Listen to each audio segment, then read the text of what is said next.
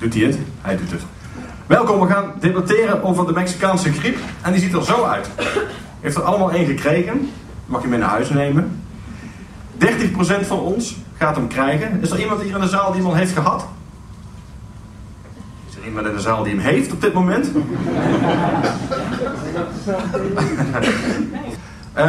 hij heeft nog iets gekregen toen hij binnenkwam. En dat is de debuut-cd van een van onze gasten vandaag. Mohammed er helemaal aan.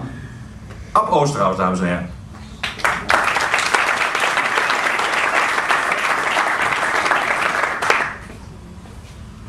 We gaan debatteren de komende anderhalf uur met onder meer u en met Winfred Schop van de GGD. Welkom. Wilt u ook plaatsnemen? En u mag ook van Winfred Schop plaats Maar eerst, eerst is het woord aan onze gast die vanavond de inleiding houdt. Hij is hoogleraar marketing en wat dat te maken heeft met deze griep, dat zult u horen in zijn inleiding. Dames en heren, professor Dr. Stefan Stremers.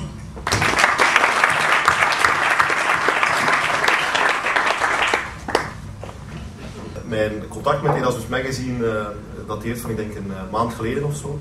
Uh, waar Erasmus Magazine me confronteerde met de volgende vraag. Ehm, heeft de industrie de griep uitgevonden, en in het bijzonder de Mexicaanse griep, om daarvan dan beter te worden winstgewijzen? We zijn daarna eh, naar een debat overgegaan uh, over wat is eigenlijk de rol van de industrie. Uh, en mijn basisstelling is eigenlijk dat uh, de industrie in dit dossier nagenoeg niks te verwijten valt. Maar dat de overheid zijn crisiscommunicatie niet goed beheerst. met name dat de hele range van scenario's, het zij in termen van aantal mogelijke doden, het zij in termen van incidentie, uh, zich één niet gematerialiseerd hebben, maar dat er ook gecommuniceerd is als waren het zekere cijfers en altijd aan de bovengrens. Uh, dus de overheid heeft het onder uh, invloed van alle soorten griepexperten gewoon compleet verkeerd aangepakt. En de pers is daar gigantisch opgesprongen, omdat zij ook nog maar naar kijkers zoeken en hebben ook het meest extreme, meest rampzalige scenario breed uitgesmeerd. Waardoor wij vandaag inderdaad weer zo bang als een kwezel rondlopen. Terwijl eigenlijk onze, onze kans op een eh, op een vervelende uh, een tragische hersen of een, tragische kankerdiagnose veel malen waarschijnlijker is dan door een ongelooflijk griepvirus getroffen te worden. En dan de slotstelling is dat de, het eigenlijk gewoon, ja, ik ben een beetje rechtsliberaal denk ik, dus het, hetgeen een rechtsliberaal zou altijd denken, het is gewoon de fout van de overheid. Ik denk dat dat volstaat als inleiding. Dank u wel.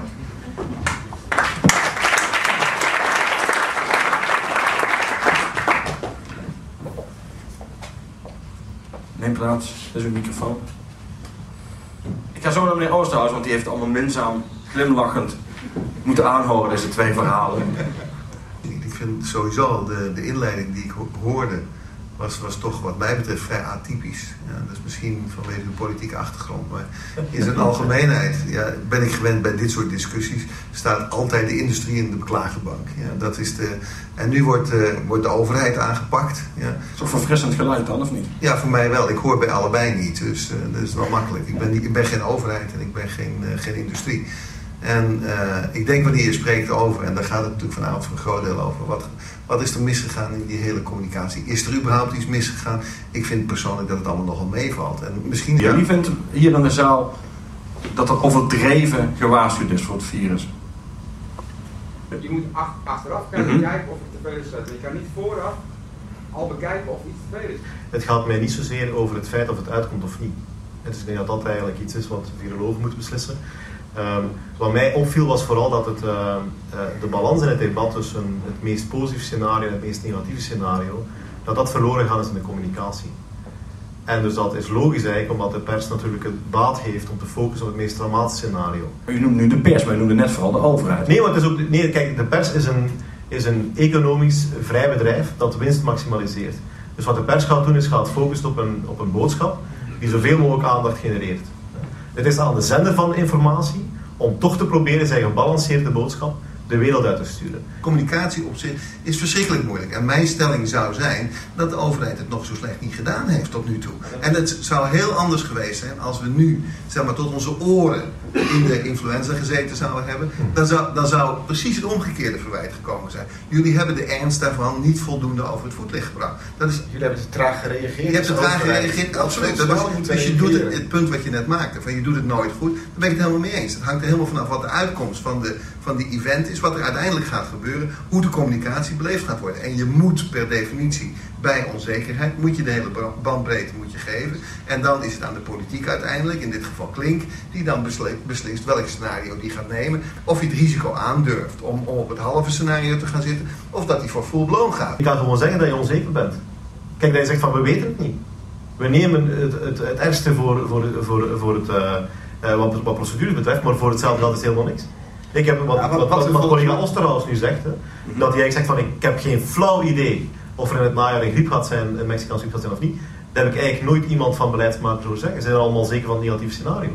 En dat snap ik niet. Dus waarom die, en dat komt eigenlijk van een soort defensieve politiek, die ook een soort in, in, in de medische wereld soms ingang vindt onder de term defensive medicine. Het komt een stukje van uit de defensieve, vanuit als ik maar het rampzaligste scenario geef, dan kan men mij nooit iets verwijten dat ik niet de juiste procedure heb gevolgd. Maar zouden mensen van de bestuurder dan pikken? Denkt u dat hij zegt, geen idee. Geen idee hoe erg het wordt, weet ik niet. Als er onzekerheid is, is er onzekerheid eigenlijk. Hè. Maar ik voel toch ook wel ergens voor een soort eh, voeling krijgen met de uiteindelijke afnemer van die informatie. Om te gaan kijken van hoe zal die die informatie absorberen. En het is eigenlijk vrij eenvoudig, want eigenlijk gaat de overheid toch een informatiesignaal uitsturen. Wat kost het dan eigenlijk om de overheid, als je kijkt naar het totale budget, hè, wat kost het dan eigenlijk om de overheid om, om, of aan de informatieverstrekker, om even gewoon te zeggen, we gaan 200 mensen bij elkaar verzamelen en we gaan eens kijken hoe die op bepaalde componenten van die informatie reageren. hè. Ik zou jullie vertellen, dat gebeurt. Dat gebeurt, dat gebeurt nu al de hele tijd door, zeg maar. Die is al regelmatig, wordt er gewoon een groep mensen, wordt er gelijk geïnterviewd van, wat vind je van deze informatie, hoe komt dat over? Maar dat is natuurlijk dan- toch altijd een beperkte groep. En wat wordt er dan bijvoorbeeld bijgesteld? Naar aanleiding daarvan. Ehm, in, in eerste instantie over eh, eh, zeg maar de Mexicaanse griep is gevraagd van vind je dat je voldoende geïnformeerd bent en eh, kan je wat met deze informatie? En toen is er zeg maar uit dat soort onderzoek kwam op dat moment dat mensen daar zeer tevreden over waren en dat ze voldoende geïnformeerd waren. Zeg maar. En ik geloof niet dat in de periode zeg maar, dat het weer is bijgesteld, dat er toen weer opnieuw geïnterviewd is. Maar ik, ik zou op zich is dat wel een interessante vraag om te kijken wat daar weer gebeurt. Maar eh, op zich de methodiek zeg maar, om heel snel gewoon informatie te vergaren en dan gewoon een groep mensen te interviewen, dat wordt gewoon gehanteerd. Ik denk met name het punt wat je opbrengt. Ja, dat je op een gegeven moment zegt van als je 200 mensen vraagt, die, die gaan op een gegeven moment die gaan correcte antwoorden geven, et cetera. Maar als er één, eh, één iemand tussen zit op een gegeven moment in de populatie die dat vrij polemisch aanpakt, heb je kans dat de hele meute mee gaat lopen. Dus communicatie op zich is verschrikkelijk moeilijk. We hebben eerder een discussie gehad waar dan gezegd werd, jongens, het is allemaal leuk en aardig. Ja, die risico's die zijn er wel, maar dat moet je niet tegen de mensen vertellen. Dat moet je gewoon achter, achteraf, in, dat werd me door een journalist gevraagd. Ja? Dat moet je achteraf met de, met die, met de beleidsmakers, ja, moet je dat gaan bespreken, hoe gevaarlijk het wel kan zijn. Maar dat moet je niet tegen die mensen vertellen. En dat komt uit de mond van een journalist notabene. Nou, dan denk ik, waar zijn we nou mee bezig? Tenminste, wij hebben gewoon de plicht, ja, ook als wetenschappers, om gewoon het, het reële scenario te schetsen. Ja, en je kunt dat niet reserveren voor stel mensen die... Ik heb helemaal geen vertrouwen in die beleidsmakers. En die beleidsmakers, die snappen er helemaal niks van. Ja, ik denk dat wij het veel beter snappen. Ook nog niet helemaal, maar wij snappen het veel beter. En ik denk dat die discussie dus openbaar gevoerd moet worden. Ja, en, ik, ik, en dus jouw stelling van, je doet het nooit goed, daar ben ik het mee eens. En ik denk, zo wat er nu, nu gebeurd is tot nu toe, ja, denk ik helemaal niet dat de overheid het zo slecht gedaan heeft. Ik denk dat er een aantal scenario's mogelijk geweest waren en dat je het altijd fout doet en dat het heel veel slechter had gekund. Maar je moet wel in je achterhoofd houden dat er verschillende scenario's mogelijk zijn. En dat je je tegen al die dingen moet indekken als overheid. En daar zijn we het wel eens, dat de overheid het beter had kunnen doen. Ja. Natuurlijk kan de overheid het beter doen. Maar als je dat aanzet als, als, als punt van je discussie, dan, zeg ik, dan is mijn punt. Dan, dan, dan chargeer ik naar de andere kant toe. Dan zeg ik, ja, maar ik vind dat ze het nog zo slecht niet gedaan hebben. Ja. Ja, tijd om af te ronden, joh. Ik dank je voor je aandacht. Ik dank de sprekers. Mag een hartelijk applaus voor onze gasten en voor Mohammed Ben Sekour.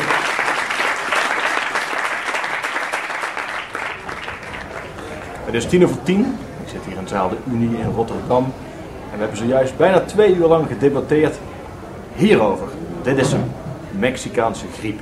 We hebben het gehad over de vraag of het nou terecht is dat de overheid daar zo streng voor waarschuwt. En of de overheid wel moet uitgaan van zo'n worst case scenario. En zoals dat bij een goed debat hoort, we hebben veel geleerd en we werden het niet eens. En 29 oktober zitten we hier weer met andere deskundigen, met ander publiek. In dezelfde zaal met een nieuw debat, de kwestie live. Tot dan.